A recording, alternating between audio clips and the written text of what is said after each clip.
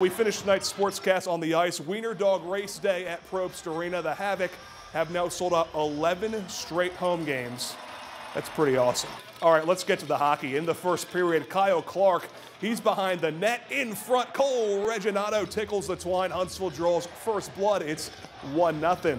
And they weren't done yet in the first period. That's because Buster Larson to Dylan Stewart, and he scores. Huntsville led 2 to 0 at first intermission, but they gave up the lead, and later the Rail Yard Dawgs come back and win.